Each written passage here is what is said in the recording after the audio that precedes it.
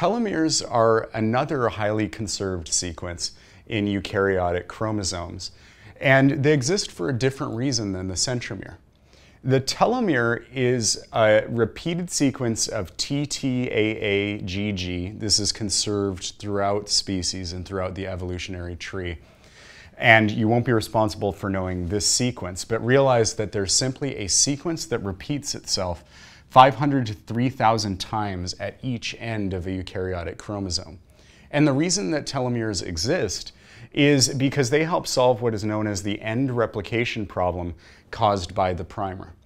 Remember that in DNA replication, first you need to lay down an RNA primer before the DNA polymerase can attach.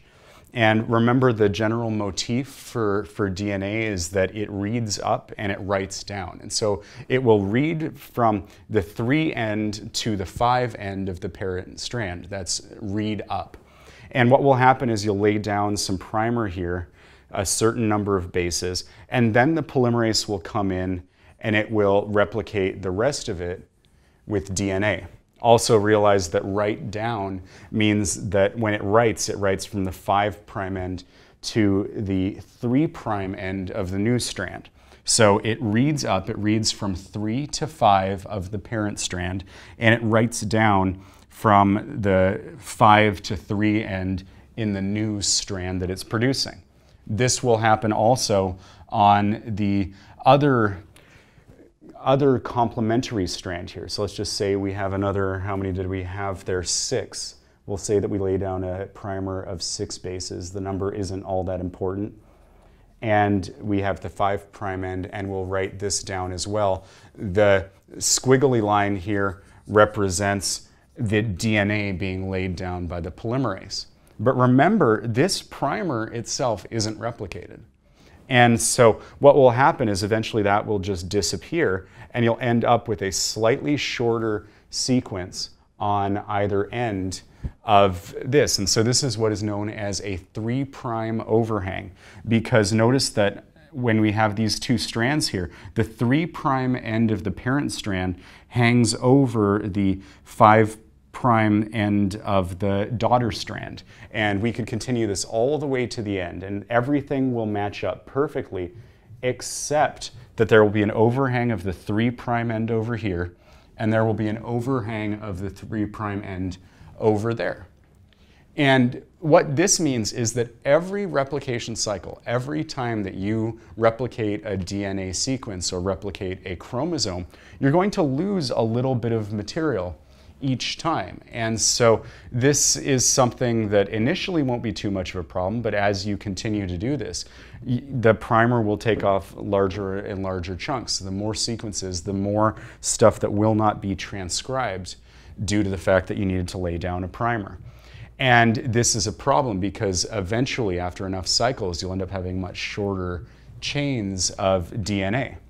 And telomeres are an evolutionary feature that developed to solve this problem. These are not important for the coding of the proteins. These are not something that are translated, but what they are is they're additional units that serve purely as a place where you can set up a primer and lose a bit of material, but not lose any of the important genes, which may be down here in this sequence. So this could all be telomeres down here that would allow us to go through multiple replication cycles and not lose any of the important genetic information.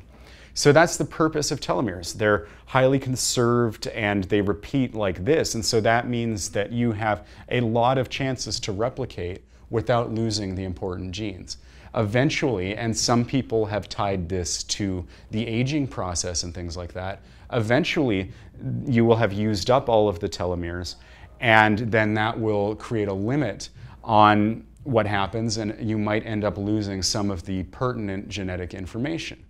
However, there is a possible solution for this as well, and that is that there's an enzyme known as telomerase that can help fix that. That essentially is a reverse transcriptase. You probably you don't need to know that classification. But what you should know is that telomerase is something that utilizes this 3' prime overhang and actually can produce some additional telomeres here. So essentially, it can produce more telomeres and thus lengthen the lifespan of this DNA because by getting more telomeres, that means you can do more replication cycles, and that will allow you then to have a lot more replication and lengthen the life of the cell.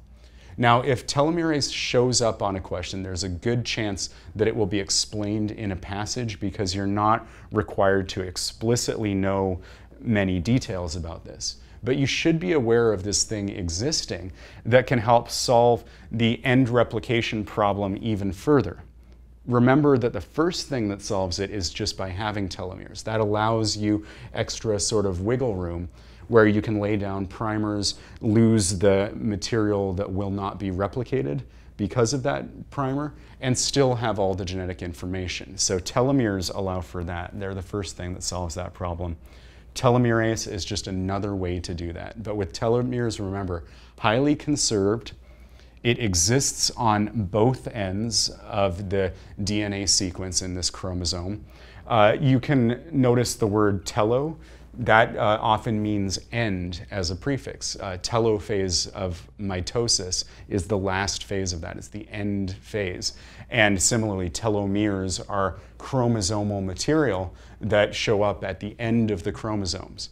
But recognize the most important thing, and that, that is that it gives you sort of a buffer zone or some wiggle room where you can lay down those primers, begin the process of replication, lose the material that the primers themselves were covering up, and still have all of the relevant genetic information conserved.